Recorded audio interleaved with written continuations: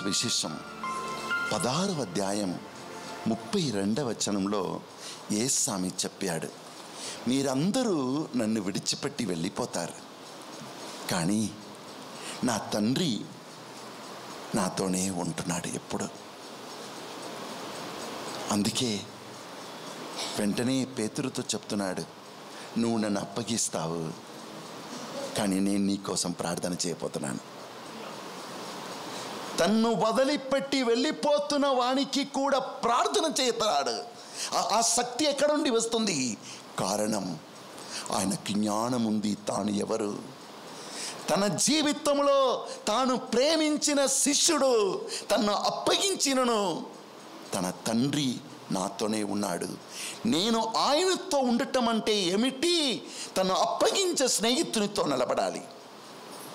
తండ్రి నాతో ఉంటున్నాడు. దేనికి నాతో నన్ను విడిచిపెట్టి వెళ్ళాలని సాతాను శోధించే ప్రజలతో నేను ఉండాలి. నీకు అర్థమవుతుందో ఏమో? అర్థం కాలేదా? Praise the lord praise lord hallelujah hallelujah పేతురు ఏసయాన్ని అప్పగించి ఏసో ఎవడో? నాకు తెలియదు. అని చెప్పేసి యేసుని విడిచిపెట్టి పారిపోతున్నాడు అటువంటి వాడిని ఏసయ్య ఎలా ప్రామి ప్రేమించాలి? అందుకే ఆ సంఘటన జరుగుటకు మునుపు పరమపిత ఏసయాకు జ్ఞానం ఇస్తున్నాడు యేసు నువ్వు ఎవడని తెలుసుకో? నువ్వు నాతో కలిసి ఉన్నావు. నేను ఎప్పుడు నీతో ఉంటున్నాను. నేను ఎందుకు నీతో ఎప్పుడు ఉంటున్నాను? అయ్యా చెట్టునకు వేరు ఉంది వేరు చెట్టును కాపాడుతుంది. ఎందుకు తెలుసా? ఎందుకు? చెప్పండి. భయంకరమైన గాలిలో ఆ కొమ్ములు పడిపోకూడదు. ఆ వేరు చెట్టును కాపాడుతుంది ఆ చెట్టు కొమ్ములను కాపాడుతుంది. పరమపిత నాతో నిలబడుతున్నాడని సత్యముతోనే గాలికి ఊగుతున్న ప్రతి కొమ్మును నువ్వు కాపాడాలి. నీ జీవిత పయనంలో నిన్ను నమ్మి కొన్ని కొమ్ములను ఇచ్చారు. నీ భార్య నీ భర్త నీ పిల్లలు నీ స్నేహితులు. ఆ చెట్టులో ఉన్న వేరు ఆ చెట్టును ఆ గాలి వచ్చినా తుఫాను వచ్చినా కాపాడుతుంది. ఆ వేరు చేత కాపాడబడిన పక్కన ఉన్న వారిని చూసి చెప్పు. వేరు చేత వేరు చేత కాపాడబడిన చెట్టు కాపాడబడిన చెట్టు తన చుట్టూ ఉన్న తన చుట్టూ ఉన్న కొమ్ములను కూడా కాపాడాలి. కొమ్మలను కూడా కాపాడుతుంది మరొకసారి చెప్పండి. వేరు చేత కాపాడబడుచున్న చెట్టు తన చుట్టూ ఉన్న కొమ్మలను కూడా కాపాడుతుంది. మరొకసారి. వేరు చేత కాపాడబడుచున్న చెట్టు తన చుట్టూ ఉన్న కొమ్మలను కూడా కాపాడుతుంది.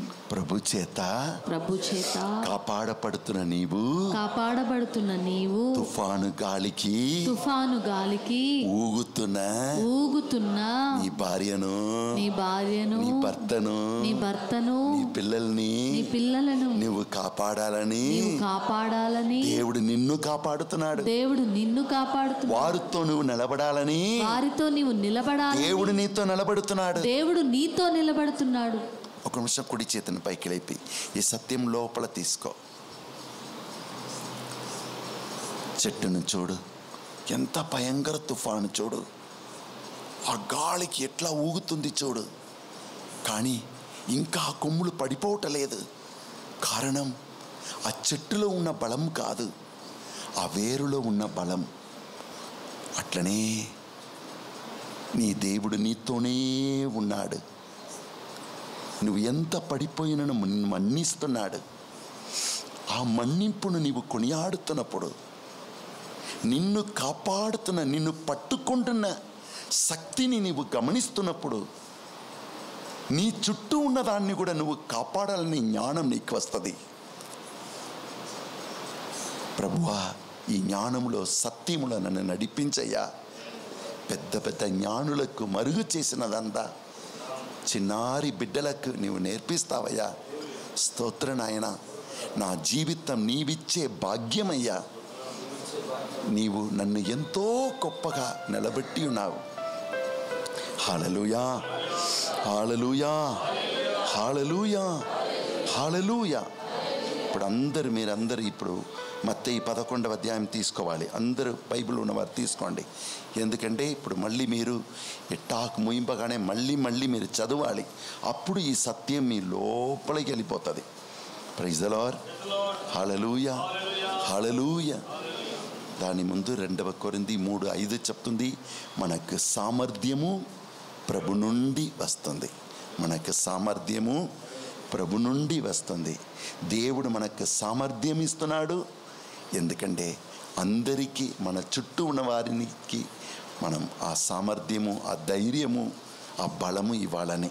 ప్రైజ్లో ఇక్కడ చూస్తున్నాము పదకొండవ అధ్యాయంలో యేసు స్వామిని వాళ్ళ సొంత కసిన్ అంటే ఎలిజబెత్ అమ్మ కొడుకు. వాళ్ళిద్దరూ చాలా దగ్గర చుట్టాలు. ఇప్పుడు ఆ యోగాను ఏసయాకు జ్ఞానస్నానం ఇచ్చి గణపరచిన వాడు ఇప్పుడు ఆ యోగాను రెండవ చండి చూశామంటే తన శిష్యులను పంపుతున్నాడు. ఆయన డిస్టర్బ్ అయిపోతున్నాడు. నేను అంత పెద్దగా అరచాను. ఓ భయంకరమైన సర్పమా ఇంకా నువ్వు మారలేదా? నీకు నరకం ఉన్నది అది అందరినీ ప్రభు దగ్గర నేను లాగాను హృదయ పరివర్తన చెందండి. నాకంటే గొప్పగా మెసయాగా ఉంటాడు. దేవుని గొర్రెపిల్లగా ఉంటాడు అని తలంచిన యోగాను ఈ ఏసియా గురించి ఏ సౌండ్ వినపడట్లేదు ఆయన హేరోది రాజా తప్పు చెప్పాడని నువ్వు నీ భార్యను విడిచిపెట్టి ఇంకొక స్త్రీతో ఉన్నావు. నీ చెట్టు ఎక్కడ ఉండాలో అక్కడ ఉండాలి. ఇంకొక చెట్టు మీద ఎంతసేపు ఆధారపడి ఉంటావు? రెండు కింద పడిపోతాయి. అని హెచ్చరించిన వాడు నీ భార్యను అంగీకరించుకో. కానీ వాడు కోపపడి ఏం చేశాడు? హే రోజును పట్టుకుని వచ్చి చెరసాల్లో వేశాడు. చెరసాల్లో సువార్త బోధించేవారు ఆ రోజుల్లో లేరు. కావున చెరసాల ఒంటరిగా ఉన్నాడు. ఆయన శిష్యుల్ని అడుగుతూ ఉన్నారు. ఏసే ఎలా ఏం చేస్తున్నాడు? అరుస్తున్నాడా? లేదు. అరువట్టలేదా?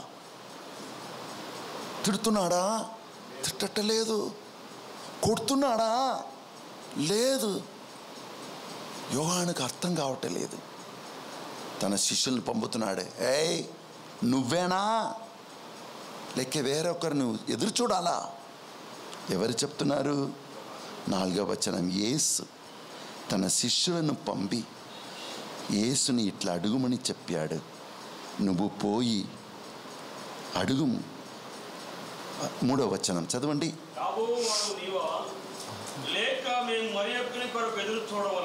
నువ్వు ఫెయిల్ అయిపోయావా? దేవుడు ఇంకొకరిని పంపాలా? ఎవరు చెప్తున్నారు? ఎవరు చెప్తున్నారండి? యోగాని ఎవరు? ఏసయ్య తమ్ముడు అన్నయ్య అన్నయ్య. కసిన్ అన్నయ్య చెప్తున్నాడు ఏసయ హృదయం ఎట్లు బాధపడి ఉండవచ్చు. కానీ ఏసయ చెప్తున్నాడు చూడు పోయి శిష్యులకి చెప్పుము. గ్రుడ్డివారు కన్నులు తెరువపడుచున్నాయి. మూగవారు మాట్లాడుచున్నారు పాపులు పరిశుద్ధులుగా మారుచున్నారు దేవుని రాజ్యం కట్టపడుచున్నది పోయి చెప్పండి హలలుయా హలలుయా హలలుయా హలలుయా